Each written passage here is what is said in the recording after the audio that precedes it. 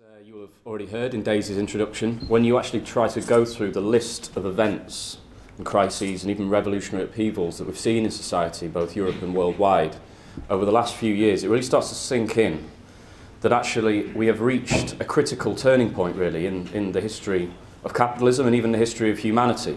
Um, those of you who are in Adam's talk this morning on uh, the economic crisis will have uh, heard him describe 2008 and the financial collapse as a turning point, a historical turning point. And I would completely agree with that. And I think that we can't really start with an analysis and a discussion on the European crisis without first considering briefly the global crisis, which of course sets the context through which these events um, are channeled. Um, just jumping back really about 30 years, the last period, the way that the capitalist system worldwide, but once again, particularly in Europe, emerged from the, the economic crisis of the 70s was via a process of I suppose the best way to put it is a disciplining of the working class. That productive costs and labour costs were considered far too high. It was affecting the supply side of the economy.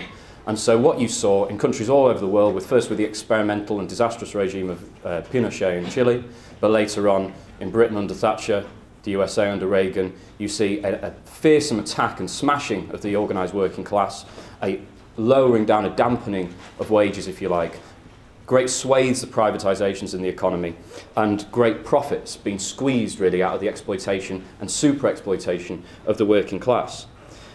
However, none of this was actually able to overcome the fundamental contradictions that exist within society, not least among which being the crisis, the underlying problem of overproduction. Actually, um, despite the profits being eked out on the back of the working class, the lowering of wages and the consistently stagnant or even lowering wages in real terms were actually cutting heavily into effective demand. So not simply the wants and needs of the population, but their ability to pay for it. Concepts that I'm sure you'd be familiar with um, already, and if you've been to Adam's talk, then certainly now. Um, and the effect of this is actually the effective demand does not exist to be able to sell the goods that are able to be produced under the capitalist system. This expresses itself through overproduction. Actually, early this year, in January, the OECD produced a report on the steel industry in which it reported in the last few years, in the last um, three years, I think, excess capacity, which is essentially the, the, the word that bourgeois commentators use for overproduction, in the production of steel is now triple Um, so the amount that it's possible to produce in terms of steel is now triple the amount it's possible to sell. And even actually in a more stable period, about 10 years ago, the excess capacity represented about double of, uh, of the effective demand present. So this has been something that's been present in the economy for a long, long time. The solution that was put um, into effect in order to kind of overcome this barrier was a huge, an unbelievable extension of credit, both in the form of household credit, so the irresponsible and unregulated lending to households and companies by bank banks, but also the racking up of vast state debts in order to increase the social work wage and thereby give people a bit more disposable income to be able to then buy more commodities. Now, in the wake of the crash, one fascinating thing about this turning point in 2008 is actually many of the forces that you find in the economy which pushes it forward constantly, like credit, credit providing liquidity is a good thing in the capitalist system, have flipped into their opposite. All this uh, credit all this cash has turned into its opposite, the lead weight of debt. And no, clear, no more clearly can this be seen than in the euro crisis and in the European, the crisis of European capitalism as a, soul, as a whole. Now, also the, the factor of globalization, which you, you could argue was completed, a process that had been going on for about 100 years, but had been completed after the collapse of the Soviet Union, and all of a sudden, a huge uh, surface of the globe had been opened up for new markets and new exploitation. Capitalism seemed to have co conquered all of its problems. It seemed to have overcome the limitations of private property. It seemed to have overcome the limitations of the nation state. And you had these seemingly successful supranational, supranational bodies, such as the EU, pointing towards a new future of peace and prosperity. Now, the future, as we see it now, is, is much more bleak than that. And so I think that it's very important that we're having this discussion at this time into what's actually going on in Europe. But also, in order to have that discussion and, and give it a proper grounding, we should also look at the class nature of the European Union, where it's come from, and of course, where it's going, and what kind of position the Marxists should take on this. Now, just in terms, just by way of a, an introduction, really, I'm, I'm sure that many of you will already know much of this. What, what is the EU? It's made up of 28 member states. It describes itself, excuse me, as a family of democratic European countries committed to working together for peace and prosperity, which is very nice.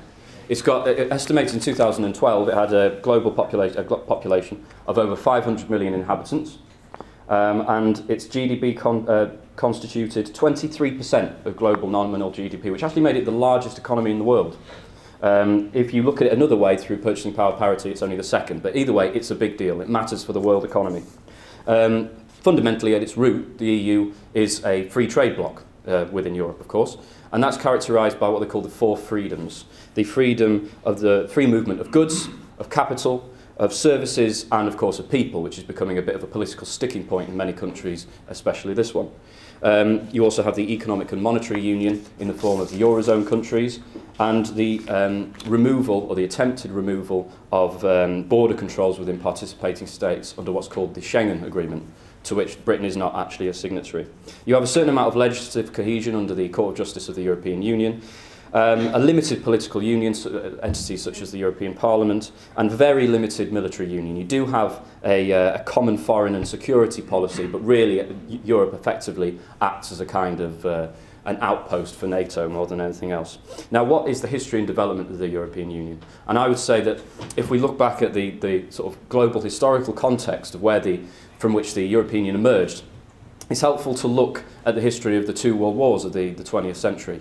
Um, if we go back to the outbreak of the First World War over just over 100 years ago, what we as Marxists would say, and I think this is, well, hopefully a fairly common assessment, although in the way in the after the centenary, the British government is seeming to take a different approach. But either way, the, the, the, after the carving up of the world into great spheres of influence among the imperialist nations, eventually the contradictions implicit in this gave rise to the necessity, actually, the, of the historical necessity of a world conflict, the first ever world war on an industrial scale. Um, once again, that same process was repeated in the Second World War, which may well have been characterised by a fight against fascism, but also was once again an imperialist war for the division and redivision of the earth. Um, it was after this Second World War that the European Union came to be. And this is where one of the, uh, what I would call the creation myth of the European Union first emerges. I haven't actually encountered this viewpoint as much in Britain as in other European countries. France, for example, I've encountered this quite a lot. But there is quite a, uh, a reasonably common feeling that the European Union, the task and the purpose of the European Union, the reason why it exists and the reason why it's such a good thing, is that it prevented a Third World War. It prevented war between European nations. Um, personally, I think that's a mistaken view, but I think it warrants a certain amount of uh, further scrutiny. Um, one thing that always perplexes me about that viewpoint is why is it that it took place after the Second rather than the First World War. If it really was, I, I would say that I have absolutely no doubt whatsoever that the European population were completely tired and disgusted with the industrial slaughter of both world wars. But the desire for peace on the part of the population has never prevented ruling classes from going to war with each other. And I find it very hard to believe that the European imperialist nations suddenly developed an unquenchable thirst for peace, and actually the, the course of history following that would prove otherwise anyway. What happened? At, what was the position in Europe after the First World War? Like after the Second World War, you had the industrial slaughter of essentially a, a generation of working class people, um, a crisis so acute it led to the overthrow of capitalism in Tsarist Russia, but also a, a revolution in Germany in November 18. Um, and you had a, a number of formerly powerful powers um, in a, a drained state as a result of the mass expenditure and destruction of the World War. Why was that not enough to bring about European cohesion? Now, the power, European powers may well have been drained after that, but you still had a position where the, the European allies, Britain and France in particular, were in a strong enough position after, you know, uh, after de the defeat of, of Germany and the revolution that they could actually impose their own terms. Um, rather than actually pursuing the, the end to war in Europe, actually the, the French imperialists in particular, although it's not solely their fault, were pushing in the, the Treaty of Versailles to basically completely uh, decimate Germany as a country so that it would no longer be able to pose any kind of threat to their interests.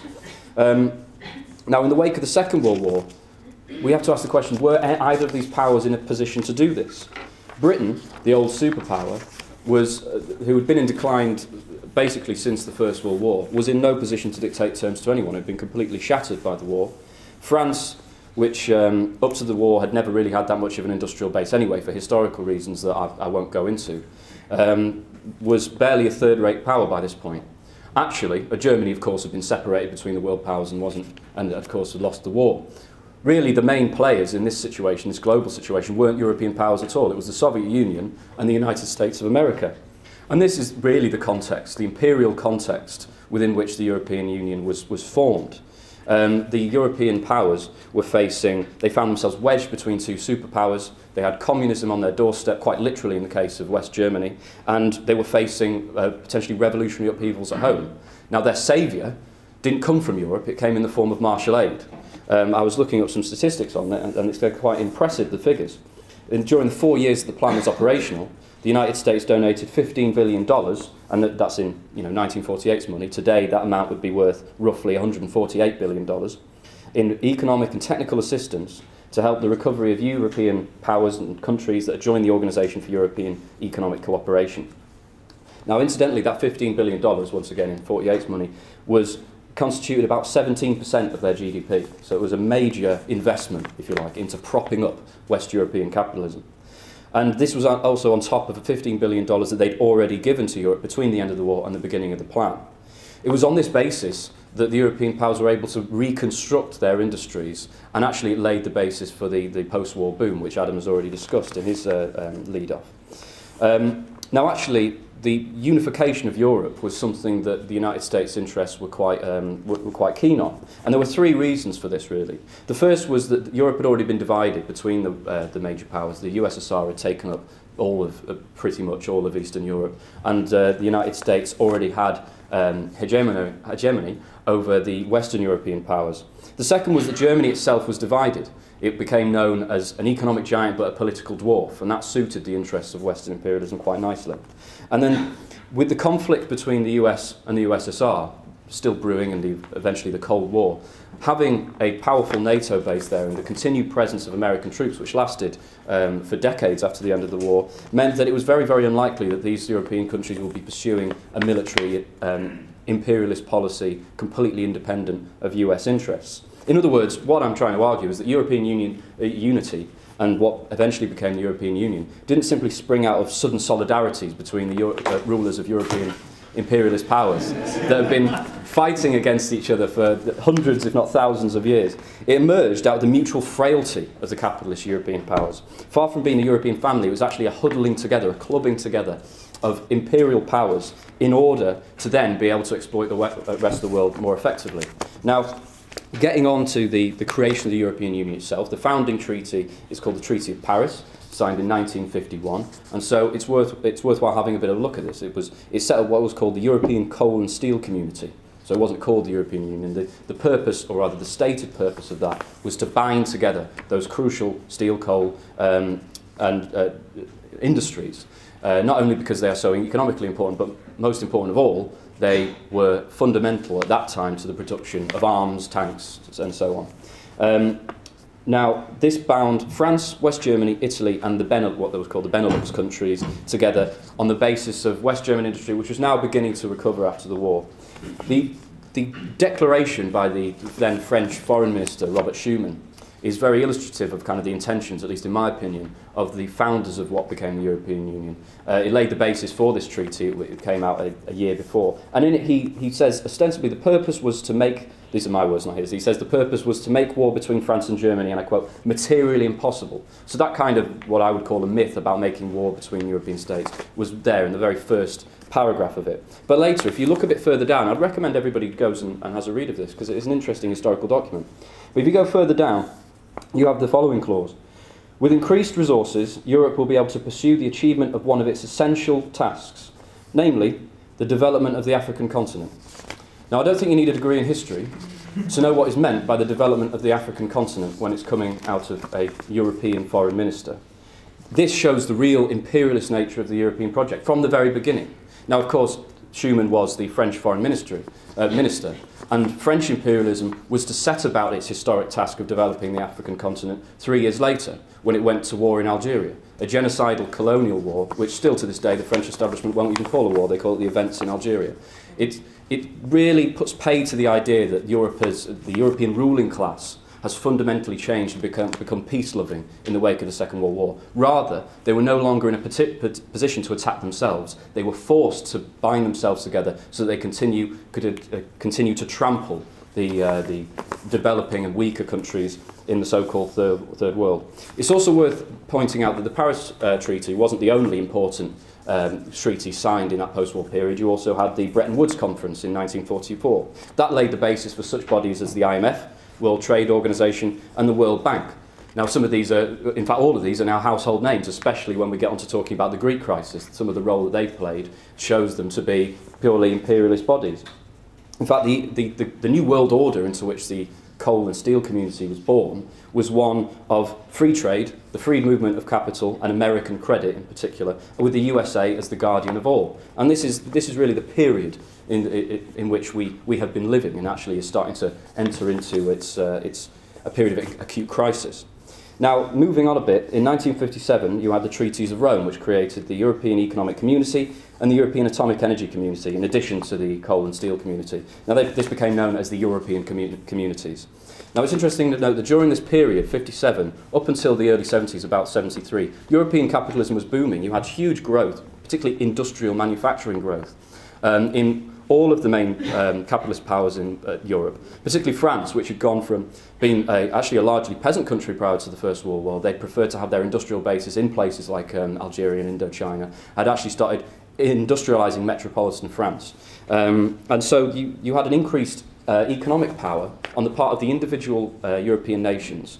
Um, and it, it produced an interesting contradiction. You had, on the one hand, increased cohesion in the form of any, if anybody's studied or studying European law here, you'll find that there's some quite uh, uh, important precedents set by the European Court of Justice during that period where they start to push more and more for, for economic cohesion and, and free trade and the elimination of all forms of protectionism uh, in order to increase pr prosperity across the board. But at the same time, you have this sort of political, because they're no longer able to wrangle with, with each other in a protect, protectionist fashion on an economic basis, you have this political wrangling, particularly between um, Charles de Gaulle leading France and Germany, but also Britain. It wasn't quite um, in the European communities at this point.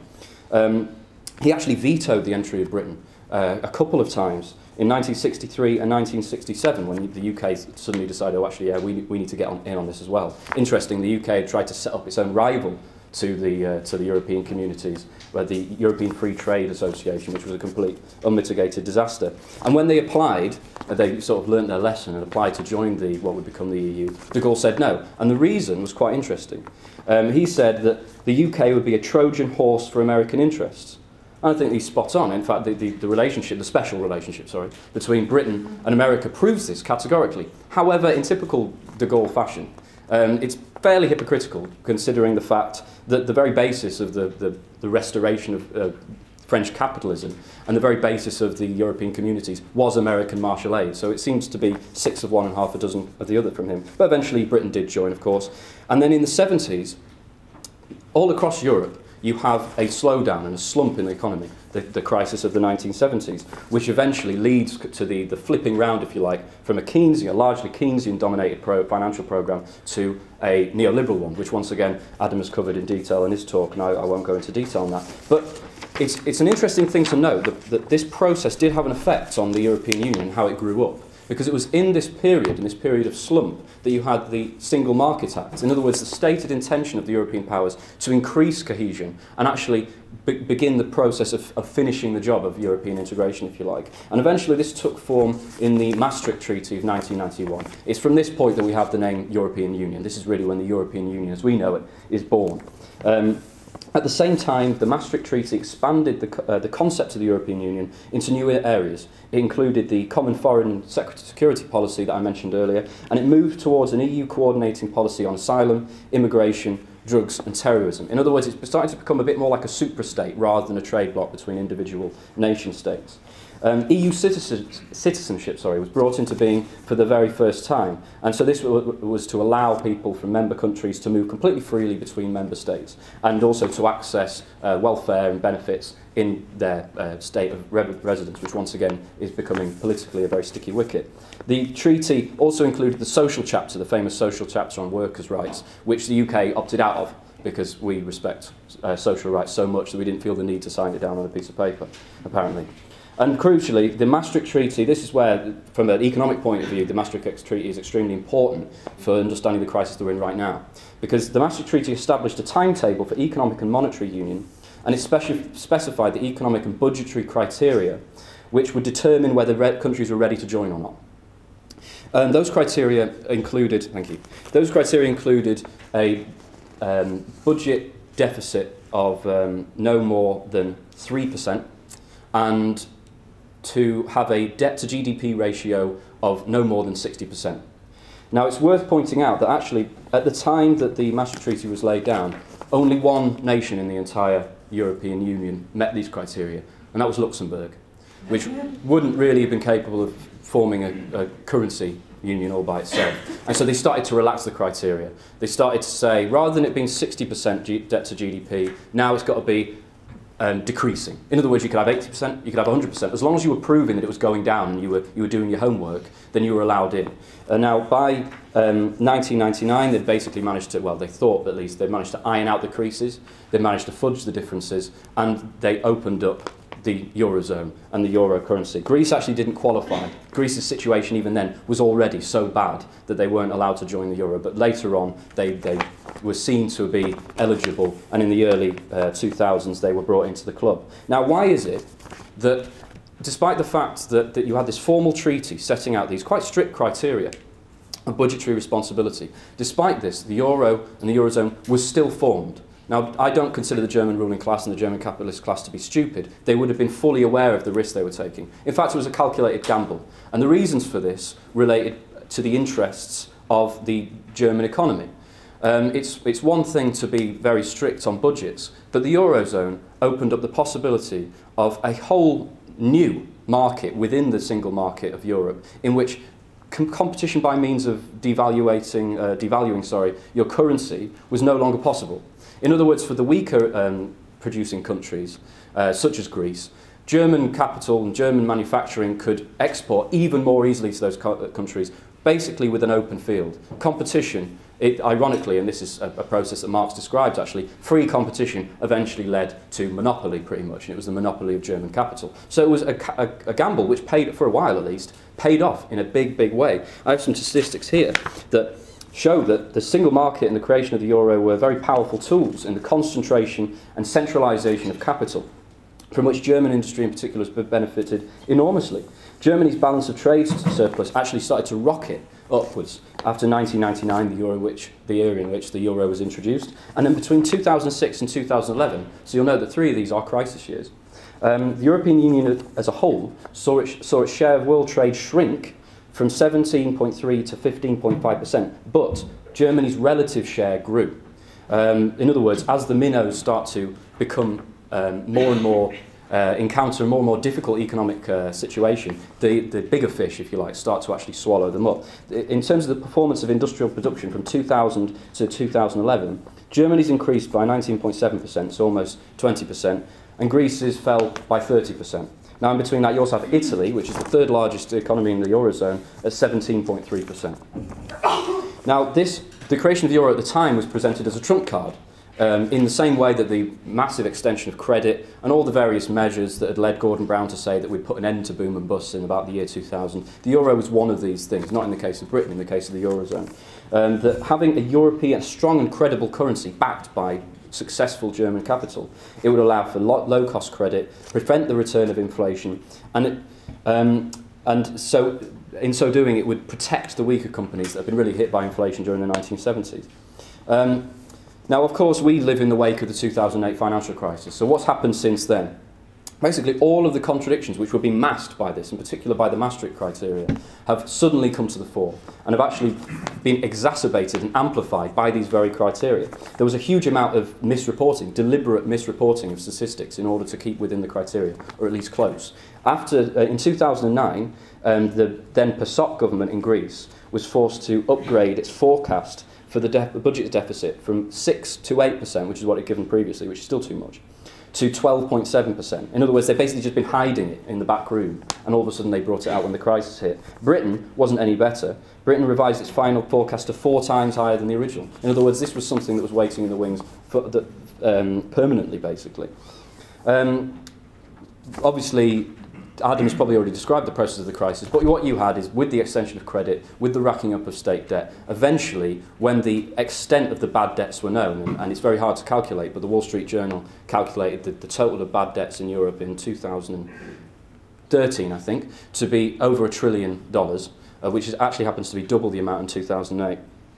You were faced with an almost imminent banking collapse. Now, the way that this was solved, this huge this huge hole in the, I, is this my fault? I don't know. This huge hole in the balance sheets of European banks was filled by creating a huge hole in the balance sheets of European states, um, not least among which is Greece. And I'd like to concentrate a bit on Greece because it has basically been the, the, the main arena of crisis in Europe at the moment. Greece has received three bailout packages uh, after it suffered its sovereign debt crisis from the Troika of the, e- the European Central Bank, the IMF, International Monetary Fund, and the European Commission. Now, their, their bailouts amount to 252 billion euros.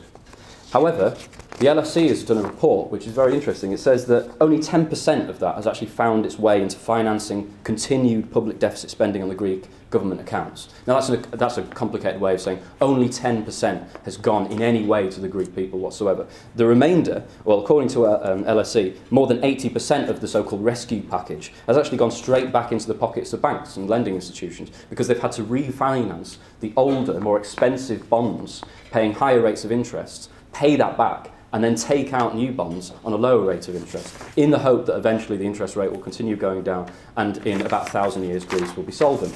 It's not going to happen. The, um, after round after round of uh, austerity measures, between 2010 and 2014, Greece's public spending was cut by 30%, almost a third which is difficult to imagine. But sometimes with these um, statistics, they're a little bit abstract, they're a bit ephemeral. But we can see in the news reports of what's going on in Greece what a public cut of a third of expenditure over such a short period can actually do to, to human beings. You know, Greek GDP has fallen by 22%, and unemployment now stands at 25%, with almost half of all young people talking about 16 to 24. I, can, I still consider myself young, but I'm 26. I'm apparently outside of this bracket. Um, uh, half of people uh, in that age bracket are unemployed. This is an untenable, an unbearable situation. Meanwhile, the country's total debt amounts to 323 billion euros. In other words, more than the bailout package, it's been increasing consistently. This debt will never be repaid. I can say this with a certain amount of confidence. I do not believe that this debt will ever be repaid. The only force capable of bringing its reparation is another global upswing of capitalism comparable to the post-war boom. Where is that going to come from? I can't see any, uh, any source of that. Perhaps somebody can intervene from the floor and, and educate me, but I can't see that coming anywhere. This crisis isn't just restricted to Greece. In Spain, the youth employment figure is similarly high. We could see the political and social effects of that in the form of the Indignados movement, and of course in the form of the rise of Podemos. In the Republic of Ireland, or rather I should say from the Republic of Ireland, you have an exodus of young people, young graduates in particular, co- comparable to the scale of the Irish potato famine. It's the Irish job famine. They, they have no source of using the kind of qualifications they've got. There is a crisis in employment, and so the Irish are, are continuing really the, the historical trend of exporting um, their people. Um, and that's one of the re- reasons and ways by which Ireland has been able to hold itself up or be held up as one of the poster children of austerity. The austerity programme has been successful in Ireland because what they did was their unemployed all went off to other countries. And so basically the, the poverty was just being pushed out rather than pushed under. Greece doesn't have that kind of option. Now, even in this context, it's worth pointing out that the burden hasn't been completely fairly and equally spread uh, across the entire Union. Far from it. And it would seem that Germany had escaped the worst of the crisis. Germany is often held up as being uh, continuing to be a healthy and successful economy. But Germany's turn will come. Germany, as an economy, as a successful manufacturing economy, depends uh, to a great extent on exports. Apparently, about 44% of its GDP is based on exports. Now, obviously, the point of an export, uh, when you have an exporting economy, you need someone to import it, you need someone to buy it, otherwise, you won't be able to continue exporting. And so this actually gives us a bit of a, a, a, background idea to why, is, why it is that the German ruling class in particular, which of course backs the European institutions, has been so hard, so intransigent when it comes to the demands of the Greek government in this past year. It's actually not simply an ideological question. I do believe that people like Yanis Varoufakis make a mistake when they talk about the European institutions, the likes of the ECB, being taken over by a horde of people with the wrong ideological idea who are unwilling to give it up. There is a material basis for this. And actually, if Germany let up for even a second, first of all, there's the question of contagion. That, uh, you know, if Greece gets any kind of reasonable package, then Spain is probably going to be swiftly on, on its heels. And then there's the question of Italy as well, which I'll come to briefly. Um, they can't afford to let that happen. They simply can't afford to let that happen. In other words, the current survival of German capitalism um, is dependent on the beggar thy neighbour policy being pursued under the austerity um, agenda. Now, this is, um, it's also worth pointing out a couple of concurrent crises which have hit over the past few months. The Volkswagen scandal is very interesting because it damages a very important thing for the German exporting economy, which is the German brand, the German quality brand. If people become immediately suspicious about buying German cars, it is going to have a, a, an effect. Already the car industry is suffering, suffering great excess capacity. This isn't to mention the massive penalties, the, the, the fines essentially that are going to be levied on that company. Um, this can have a profound effect on the, uh, the, the current surplus the, the German state currently has actually a budgetary surplus, which you'd think was unheard of on this region, but it's very slender and it will be damaged by this. Then there's also the question of the refugee crisis. Now, I believe that that's probably a subject for a whole other talk, but it's something that we can cover in the discussion, where as a result, I would say, of the kind of imperialist intervention we've seen over the past hundred years in the region, you have this gigantic human crisis, this wave of refugees seeking refuge and asylum in Europe. And the political crisis that we're seeing revolving around this could potentially threaten to completely break up the European Union at some point because the, the division that is going on between the, the, the likes of Germany, the, the leading, the biggest European powers, and the more peripheral Eastern European states is something that won't easily be healed while you have this pressure coming in from outside. Germany has taken the lead in taking on um, migrants. It's taken on 200,000 so far, and it's planning on taking on another 800,000. But some estimates are saying that by 2016, so in only a year's time, you could have as many as 1.5 million, which apparently um, is the same size of the population of Munich.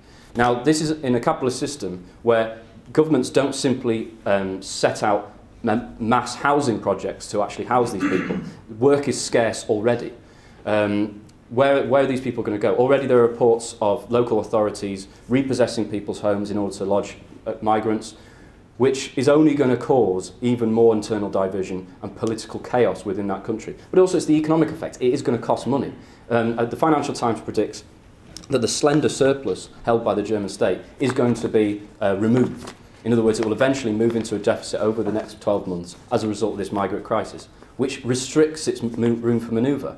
It's had, to it's had to constantly bankroll the Greek crisis. What happens if you have another crisis elsewhere in the European Union? And I don't see this crisis going anywhere. And this is where I come to Italy. Italy, as I mentioned, is the third biggest economy in the Eurozone. It, its debts currently stand at over 2 trillion euros. The ECB and German capitalism will not be able to buy Italy out. And the position of Italian capitalism is not so much healthier than that of Spanish or Greek capitalism. If you have a world slump, which has been threatened by the, the, the uh, Chinese stock market crash just passed, if this uh, perspective does come to fruition, then what you are looking at is a whole new wave, a whole new um, episode in the saga which is the European crisis, and one that which the ECB or any other international organisation will not be able to, to stem. It will get very interesting very quickly. And so um, what, is the, what is the human effect? I'd like to just spend a little bit of time on this. It actually, it, I, I do feel sometimes that it looks as if civilization is rolling back on itself. It sometimes feels like the fall of Rome. And you can see the pessimism that exists, particularly within the, the ruling class, and the confusion. Just to demonstrate this briefly, um, about the, around the time of the election of the Syriza government, and then eventually the, uh, the, the wranglings over the eventually 8 billion bailout deal, and the cuts, um, the 8 billion cuts won, that won the bailout deal. Um, it was, I, I was interested to note that in Money Week, which apparently is Britain's best-selling financial magazine, other financial magazines are available, they, the, that kind of the confusion, but also the complacency on the part of some bourgeois commentators. Just show, I don't know if you can see at the back, but I'll try and show you the front covers. I won't quote from it. Um, this is 30th of January 2015, so Syriza government has been elected. Here, the front page shows uh, Angela Merkel perched on a stool, trying to swat away a tiny Greek mouse who's sort of grinning and waving a Greek flag, saying, Don't panic, the Greek vote is a great opportunity to buy Europe. I didn't follow their advice, thankfully. I don't have any money to invest, but if I had, I might have regretted it. Next, in less than a month, in two weeks' time, 13th of February, Could this man cause a market crash? Varoufakis there looking a bit sort of dangerous and sneaky, ripping apart uh, a map of the Europe. Next, 20th of February, Greece goes all in. Crunch time for the Eurozone, and now you have a sweating Varoufakis pushing all his chips on the, in the uh, direction of Merkel. That kind of shows that they had to re-evaluate their perspective very, very quickly, as did the European powers and, of course, as did the Greek government. And so that... Um, meanwhile, what is actually happening in Greece? I've seen, I've seen some shocking statistics recently um, that showed that, if I can pull them out, Infant mortality in Greece between the years of 2008 and 2010 went up by 43%. Stillbirths were up 20%, 13 of which were underweight. And miscarriages um, have tripled in the period of 2008 to 2012, I think. So that's not even taking into account the last three years. This is the collapse. It, it, this could be portrayed as the collapse of human civilization altogether. This is at a time when the European family, which is bonded together for the sake of peace and prosperity, is quite literally devouring its own children. And so the question that we have to ask ourselves right here and now is, well, what do we say to this? It's all very well having a perspective and an understanding of events, but what actually is the Marxist alternative to this chaos and this horror? And I think I've got just enough time to try and do it, but I'll try and cover some of the alternatives and some of the options that have been put forward in society, but also on the left. So the first of all is the question um, of a social EU. In other words, reforming the European Union to represent the interests of working people and basically move away from austerity. This is the famous programme of the Syriza government, at least the last one. It's also the programme of Podemos, and it's one that deserves quite a bit of attention. Now, in 2014, before the election of the Syriza government, Alexis Tsipras ran for the president of the European Union. And he, um, I think it was the European Union or the European Parliament, excuse me, and he campaigned on the basis of a, an interesting programme which I'd like to, to go through briefly. First of all, put an end to austerity. So, so far, so good. And a new deal for Europe to be financed by low interest lending on the part of the ECB. Suspension of the new European fiscal framework, which requires balanced budgets year on year, at least in periods of recession. The European Central Bank to be a lender of last resort, in other words, for the European Central Bank to lend even more money at uh, low interest credit. Surplus this is very interesting. Surplus countries should do as much as deficit countries to correct macroeconomic imbalances within Europe. In other words, they should export less and import more. When they say they, they mean Germany specifically. Germany should export less and import more, presumably from Greece. I don't know what exactly Greece produces to export to Germany, uh, but they must export something. And that's what they want to do to address the macroeconomic imbalance. And then a European debt conference, like that of 1953, which relieved Germany of the economic burden of its own past. Separation of commercial investment banking activities along, with the along the lines of Roosevelt's 1933 Glass-Steagall Act, and then effective European legislation to tax offshore economic and entrepreneur, entrepreneurial activities, with which I'm in complete agreement, that one. Now, in some respects, this is a good programme. I'd certainly prefer it to the austerity programme being applied at the moment. But you may well have already noticed the several references to the 1930s and to the post-war boom period of the 50s. Basically, this is just a Keynesian, this is a classic Keynesian program, copied and pasted out of the history books, with not actually any reference to the crisis that we're currently living through. It completely ignores two very important obstacles. The first one I've already mentioned, and that's the global crisis of overproduction. It's all very well calling for public and private investment into creating jobs, infrastructure, infrastructure, trying to develop the economy, but investment which leads to an increased productive capacity when effective demand simply isn't there, will lead you nowhere. It will lead you in circles. At best, what they're suggesting is they want to pay workers to dig holes in the road and then fill them up again. That is not a solution to the European crisis. And then the other question is, where's the money going to come from? This, this is the, the million dollar, well, the multi trillion dollar question. Where is this money going to come from? Is it going to come from Germany? Absolutely not. Is it going to come from China, maybe? Can Europe ask China to write a blank check? Because, of course, China does depend on the European market. It is in China's interest to actually give Europe money. But I think China have got the Chinese bureaucracy in charge of the, the Chinese economy, um, such as they are in control of it, have got enough things on their plate, actually, to be trying to bankroll the European capitalism. I don't think Europe, the United States of America are in a position either. In other words, this, this program could never have been applied except for one thing, because there is, it's not as if all the money in the world has suddenly disappeared. There is actually the money that we could take hold of and use it to, to try and bankroll this program, or even an even better one. And that's sat in the bank accounts of big international companies such as Apple. That money is there, but we're never going to get hold of it by asking them nicely or trying to negotiate. And we, we learned this And I think it also gives a striking lesson on the class nature of the European Union as an institution from the experience of the, the Tsipras Varoufakis Syriza government in Greece. They came with their Thessaloniki programme, a programme which I would support, supported at the time, with an idea of putting an end to austerity. And the way they were going to do it was they were going to reno- renegotiate with the Troika. They were going to come and say, the Greek people have had enough, it's not working, the economy isn't growing at all, actually it's making the situation worse. We have worked out a detailed economic plan by which you can help us and also help you out of the crisis. They were going to be awful, they were awfully reasonable, and they put forward logical, within reason, um, arguments for, for why they should do this. And Varoufakis, after he parachuted himself out of the government, actually did an interview where he talked about the kind of conversations he had with people like Wolfgang Schäuble, um, where he was putting forward these ideas, and they're probably perfectly reasonable, certainly better than austerity. And the response was simply no. They weren't having it. They weren't listening. They weren't interested. And the reason for that is because their minds have already been made up, and the, the, the, their minds have been made up by the necessity of capitalism. It's part of the material situation facing European capitalism. Um, so I would say that this is more than just a woolly programme. This is sadly completely utopian. It actually shows the complete bankruptcy, I would say, of all kinds of ref, uh, reformism, even with the best intentions, even left wing reformism. If you assign your policy to the continuation of capitalism, but on perhaps a more reasonable or fairer basis, then in this current period of a cri- acute crisis, then I'm sorry, but you will fail. And the experience of Greece shows this um, absolutely. Now, I also want to speak um, a little bit about imperialism, the nature of imperialism. Now, um, Lenin, in the, uh, during the First World War, if I can find the note, during the First World War, Lenin wrote a pamphlet called Imperialism, the Highest Stage of Capitalism. Now, in it, he defined imperialism as the complete domination of the big monopolies and financial houses over not only the economies of their home countries, but also effectively of the whole world, as institutions take control of the assets of foreign economies through the ownership of vast bulks of their resources, assets, shares, lending, debts, things like that, which supersedes the old colonial method.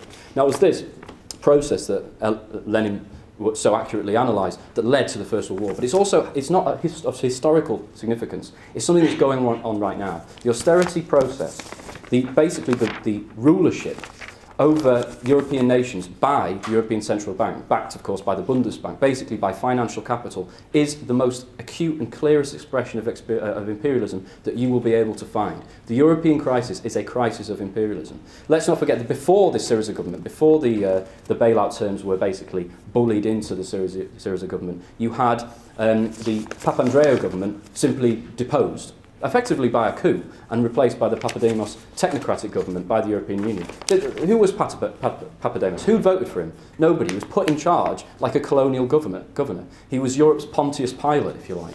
And that's not really a kind of democratic heritage that we as Marxists should defend. Now, I'd also want to have a look, quick look at the other side of the coin. Um, I've spoken a lot about the European Union as an institution, as, a, as a, a, another form of class oppression, uh, effectively, as an imperialist body, and one which I don't think Marxists can support. But does that mean that therefore we support the national capitalist economies of our own home nations? Does that mean that Marxists should, in this sense, say that it's more progressive to support the United Kingdom over the European Union? I don't think we can possibly say that. I think to pose the question is to show its absurdity, because it's all very well talking about the various crimes and lack of democracy in the European Union, and we could talk about that all day, but we'd need several days to talk about all the crimes and lack of democracy in the United Kingdom on a worldwide scale. So where does that leave us? Le- leave us? Obviously, as Marxists, we do still, we can't just sit back and say, oh, we understand it all and it's all rubbish. We do have to get involved in the movement and connect with the mood at the time and pose, and this is the important thing for me, and pose a revolutionary socialist alternative. I hope the point I'm in perhaps a bit of a long-winded way trying to get across is that actually there is no alternative to the European crisis um, under capitalism. There is no alternative to the European crisis within the European Union or without it. Actually, the only solution to the contradictions and crises that are racking the system at the moment is a socialist one. We, as Marxists, are internationalists.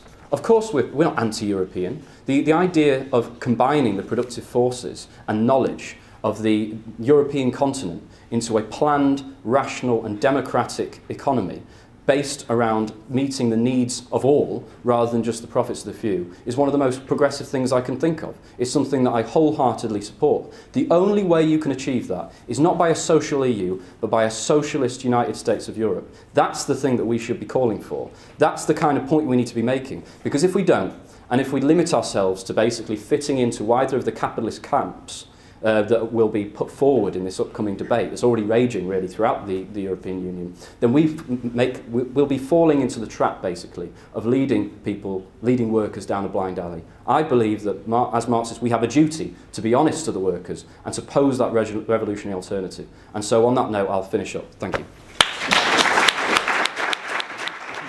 Very good discussion and um, I think some of the points uh, have been very good and also given me the opportunity to clarify on some things that I maybe brushed over a little bit in my lead off. I mean, obviously, the, this very concrete question of what are we actually going to do in the event of a referendum in any of the member state countries, but obviously we're here in Britain and the British referendum is on the way, almost certainly on the way. Um, but before I, I answer that, I'd, I'd like to follow up on Steve's point, where he, he points out that we're, we're given no real choice. And I think to go about answering the question of what is it that Marxists should actually, which camp, if you like, should we be associating ourselves with, if any, um, in order to begin answering that, we first have to pose the question why is it that we have no real choice in this? Why is it that in this referendum, this upcoming referendum, which does have far reaching consequences in, in, in society and is splitting along class lines, and I'll, I'll, I'll get back onto that in a second, why is it we're being given an option between basically European imperialism?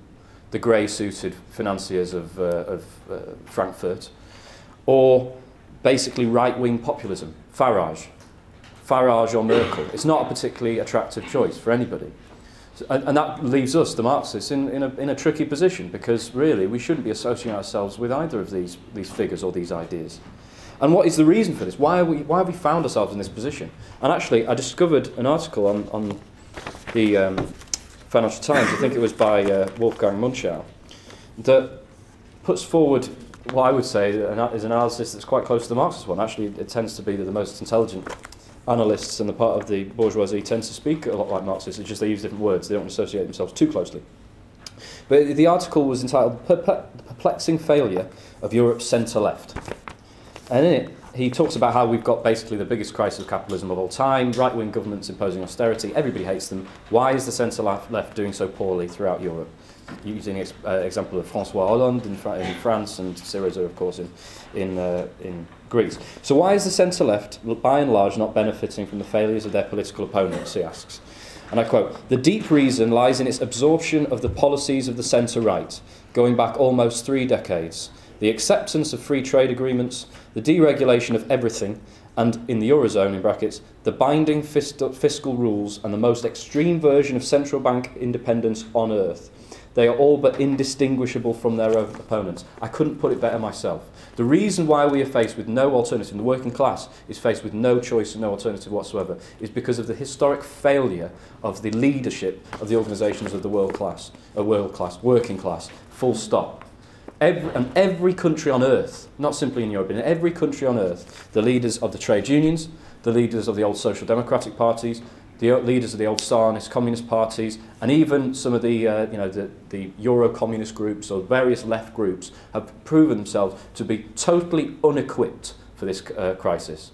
Um, and the reason for that is because they have bought in to the idea that capitalism cannot be um, overthrown. It must be worked within and therefore that the role of the left is basically to put forward a fairer Keynesian alternative, alternative to neoliberal policies. In a period of crisis like this, that's not just a bad idea, that's a dangerous idea. And it's, it's leading the workers down a blind alley. We have to uh, be independent of that. We have to put forward an independent class position. And then the question arises, we've, we've all heard in the discussion and in, in my introduction what I think the independent class position is, but then the question arises, how? But I'd say not just how, but where. Because obviously we, as, as Marxists, are individuals who live in society, and so the question of where we actually, the fora in which we actually put forward these arguments is extremely important. So first of all, on the question of how, um, I'll, I'll put it negatively in terms of how not to do it.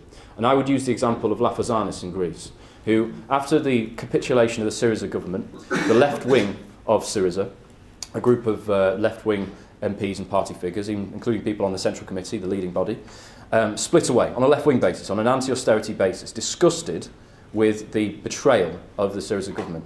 And in this, they probably shared the feelings of many, many people in Greece, many workers in Greece.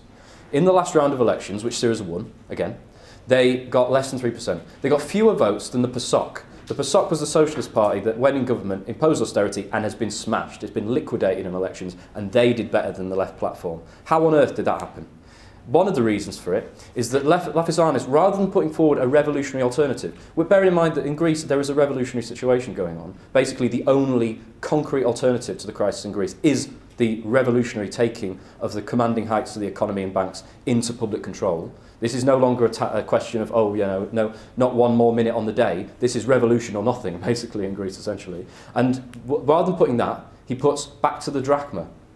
So you're, you're a worker in Greece who's facing the kind of discussion, uh, conditions that I referenced earlier. You are, feel completely betrayed and confused by your government in the form of the Tsipras government. And the alternative being posed by the left wing of Syriza is back to the drachma. It's, it's completely unpalatable and it's utopian as well. And although the Oxi vote, the no vote, I won't even try and pronounce it, the no vote in the Greek referendum was a resounding rejection of austerity and of the memorandum. It wasn't necessarily a rejection of membership of the EU at the same time. Now, there was a huge amount of blackmail going on from the European establishment, saying if you vote no, then you're going to get kicked out, or this is a, essentially a referendum on the EU. And they were brave enough to still vote no in the face of that blackmail. But from what I have heard, I'm not Greek, but when I've spoken to uh, comrades of mine in Greece and people from Greece, there is a great deal of terror, basically, at the prospect of being booted out and having to go, go back to the drachma. Because on the subject of economic uh, arguments for and against on a capitalist basis, an independent capitalist Greece on, on the basis of the drachma would be a catastrophic alternative. The thing is, what the Greek working class is starting to realise very rapidly is that uh, maintenance of the European Union, of their membership in the Euro and the European Union, will also be catastrophic because there is no exit to this. And we, the, when it comes to how we make this point, we have to make it like this. We have to concretely explain that actually the only alternative is a revolutionary um, socialist perspective. And then there's the question of where, where we get more into the tactical question of, well, who is it we want to be talking to? Because we're not talking directly to the masses. When we as Marxists intervene, when we're a, you know, a small international of a few thousand, we're not, talk, we're not hoping, we're not going to stand in elections up and down the country and tell people vote for us for a socialist United States of Europe. As much as I think that it's a great idea, I don't think we win the votes required to make that happen. And I know for a fact that there's not going to be an option, a tick box on the referendum ballot saying Socialist United States of Europe. So our, our perspective of Marxist, Marxist is a little bit skewed, it's a little bit um, removed from the question as it's been put by the capitalist media. From our perspective, what we need to do is build that alternative, the alternative that has been destroyed and all but removed by the established leadership of the working class. We need to restore it and base it on the ideas of Marxism. And the way we do that is by orientating ourselves to the working class, which put in a general sense sounds nice and simple and easy, but obviously that is a very complicated tactical question. And on a subject like the membership of the EU, which is so confused and so complicated by class forces, it requires a great deal of sensitivity. Um, so on the subject of the confusion and the class forces at play on this, uh, on this subject, one of the reasons why the dominant, by, by you know, um, the, the vast majority of Labour MPs and dominant force within the Labour Party in this country is pro-European. It's not actually a reformist thing, it's a liberal thing, and it's a capitalist thing. It's not a reflection of misguided reformists. It's a reflection of British big business knowing what side its bread's buttered. They understand that Britain's access to the European market and U the USA's access to the European market through Britain is what gives it its privileged position in the world market. Britain is not a strong economic power by anybody's standards. Its ruling class is in a state of senile decay. As far as productive investment is concerned, it's one of the lowest ranking countries in the world. It's about sixth from bottom. This is a country that prides itself on being the workshop of the world. The only way that it can basically get by as one way, having a big role in the world, as they like to talk about, is basically by having a parasitical financial role. And that financial role regardless of how much you lower corporation tax and financial transaction tax and stuff like that, is going to be considerably less attractive if you don't have access to what is potentially the largest economic market in the world. That is the position of British business. Now, does that mean that we should be pro-European because we think the British capitalism is so decrepit that it won't be able to survive properly on its own? No, because we're not bourgeois, and we don't want to be putting forward that perspective to the working class. What we want to be doing is building our forces, is reaching those layers of the masses that are already approaching revolutionary conclusions, They're already started to question the crisis, question society, and actually could be won to the revolutionary ideas of Marxism. So how do we do that? We have to gauge which way the class is looking. And um, recently, now this isn't definitive because we haven't even started the campaigning period for the referendum, but recently I saw a Financial Times article that actually talked about um, the kind of class divide, the socio-economic divide as it put it, between the two camps. You know, we talk about in, in terms of like right-wing demagogy and, uh, and, and left-wing liberal uh, human rights and stuff like that. It confuses the issue. Let's get down to the statistics. They said that 75% of university-educated professionals under the age of 30 were in favour of staying in the European Union. And um, a majority, I'm struggling to remember now, but over half of people polled who came from the lower echelons of the social economic ranking, about I think it was CD, um, were in favour of withdrawal. Now, on that basis, we can't simply look at that one statistic and say, therefore, the working class is looking at withdrawal. But it suggests something, doesn't it? Now, the, the Financial Times made the argument that actually, because pensioners and such like today were less likely to have gone to uni than people under the 30, age of 30 now, that actually it's that issue. That it's basically a loads of grouchy uh, OAPs who are determining the, uh, the, uh, you know, the pursuit of withdrawal from the uh, European Union. I will let you make your mind up about that one. I'm sceptical. I think actually there is a layer in society that has looked at the events in Greece in particular, but also is starting to see the democratic deficit to, um, that exists in the European Union and thinking, I think we'd be better off on our own, or that I can't, I can't see any kind of avenue through this that will give me some kind of positive alternative. Likewise, we've talked about the forces of the right on the, uh, on the on this question of withdrawal. We know about UKIP, we know about the Front National in France. These forces aren't going to go anywhere. They've been propped up, they've been created essentially out of this historic failure of the leadership of the working class. And we should be making that point as well. Uh, we shouldn't be timid about criticising the people that have put us in this mess. Um, and so, I, I mean, I would say personally that if the referendum were tomorrow, then I would probably, um, I wouldn't feel that I could abstain. To be honest, if you'd asked me last year, I might have said, oh, let's make a principled abstention based on what Adam was talking about, about the free trade protectionism, the, uh, the corn laws, basically saying, oh, either option is reactionary. But the problem is if you abstain, you are withdrawing yourself from the debate. You're basically taking a bit of a holier-than-thou attitude to the whole thing. So when people see the, this vote as an opportunity possibly to have an impact on their lives, and you say, don't worry about it, don't bother, then you're not really connecting with anything. So we are going to have to make some kind of a call. And for me, if the referendum were tomorrow, I would probably be voting to leave the European Union. But all, all the same, some of the points that have been made must be remembered that actually this is a bit of a moot point. The European Union is in a state of collapse already. This refugee crisis, uh, uh, uh on the subject of collapse, this refugee crisis has been brewing and present for much longer than the last few months. It's been going on for years. And the European Union, it's, uh, almost all of its foreign policy, maybe not all of it, but certainly in North Africa and Western Asia, has been targeted towards keeping these people out. This problem hasn't just emerged over the recent period. They've spent billions of pounds, or, or euros rather, on, on being able to track people down. I know they recently got rid of the kind of the life-saving boats that were, that were in operation in the Mediterranean uh, ocean, uh, Sea, um, and also making deals with North African dictators like Gaddafi to keep them out. Before the revolution started in Libya, and before he was deposed, at which point the European leaders suddenly didn't like him so much, he was their boy. He was keeping these people out. He, they had detention camps in Libya designed to make sure that people who crossed the Sahara on the way to the Mediterranean couldn't make the last leg of the journey. In Morocco today, that process still continues. A friend of mine works in, um, I think it's connected to the, the UN, in a, an asylum um, refuge unit working with people in this situation. And a lot of their funding comes from the EU. Why? Because if they're put up somewhere in Morocco, they're not going to come to Europe.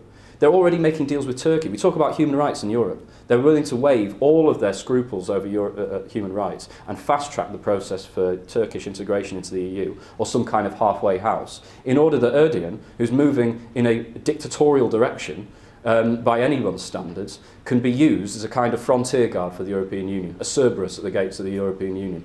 Once again, is this something that Marxists can be putting ourselves into? I, I personally don't think so. But as the po point has already been made, it depends on the way that the working class looks at it. This is a lesson that we've learned over the, the Scottish referendum. That really what matters is whether it's illusory or not, it's what people are looking at. We need to be there talking to them. And so the last point I want to make before I finish up is uh, following on from this, uh, the question of the refugee crisis, Emma, uh, uh, um, Emily made the interesting point that it's actually more than an economic problem, it's a political problem. Now, it, it's, it's not possible to say categorically whether all of these people are revolutionary, but they're certainly desperate, they're certainly hungry, and they've been brutalised by a civil war, and many of them will be uh, revolutionised by events. And that is something that the European powers will be worrying about. But it's not just in terms of the influx of, of people from these countries, it's the disintegration of the political bonds holding the Union together in the form of these, the new, so-called New Europe, the former Soviet states that were clasped to the bosom of German imperialism after the fall of the Soviet Union and used as consumer states, essentially, for, for German markets. All of a sudden, they're starting to rebel, and they're rebelling on quite a reactionary basis. You've got the Prime Minister of Hungary saying that this influx of migrants is threatening threatening the European Union's Christian fabric or something like that. That's the side of the European Union they don't usually want to show you. That's the kind that the liberal media will not want to show you. But it very much exists, and it's coming into sharp contradiction and conflict with the older powers who wanted to exploit these, these, uh, these nations. And that can develop into something very nasty, but also it has revolutionary implications. And this is what I want to end on. That what we're seeing, uh, I'll quote Lenin again. As uh, Adam was talking about um, in, his, in his talk this morning, he mentioned that when a system is no longer able to develop the productive forces, it enters into periods of crises and revolutions. Now, we are in that period. I don't think there's really any argument over that, or there can be no argument over that. Um, events have shown it to be categorically the case. However, we can go a bit deeper into this question of what, what is a period of revolution. Lenin categorized, uh, drew out four elements, really, for a successful overturn. The first was deep splits and divisions within the ruling class. The ru European ruling class is a house divided. We can see this already. It's not going to get any better. Um, this leaves openings for all sorts of strange and revolutionary developments. The election of a Syriza government in itself is a complete, uh, it's one for the books. The, the, the rise of Podemos, seemingly out of nowhere. The election of the most left-wing Labour Party leader in history, after a catastrophic defeat in the election and the, the Euro Scottish referendum result. This shows that there is, first of all, there is a great deal of anger um, and a, a desire for change at the bottom and at the top complete ineptitude and confusion. Just look at the picture of ineptitude that is David Cameron. He is an expression of his class. It's not that just he's an idiot. His class his, has reached a historical impasse from which it cannot escape. It doesn't matter. You could have a, an MIT graduate, you could have a genius in charge of the country. They will not be able to do a better job because they have to do it within the capitalist system. So there's that element. The second element is that the middle class is wavering and actually poss uh, possibly moving in a revolutionary direction. And we can see with the kind of the violent swervings to the left and the right right within the European middle class that I wouldn't say that this process is complete, but it's going, it's ongoing, and it's there to be seen. Um, and actually, the, the growth of the populist right is a, is a bit of an expression of this. And the fact that you can have the growth of, uh, seeming growth of UKIP, I think they won 4 million votes in the last election. And yet, at the same time, when they're polled, a majority of um, people intending to vote UKIP said they were in favour of the renationalisation of the railways. That's never been Nigel Farage's programme. Uh, and so already, when they've had cross-party polling, a great deal of UKIP voters who voted UKIP in the last election are looking to Jeremy Corbyn. They look like chalk and cheese, but actually it's people looking for an alternative, even a seemingly reactionary one.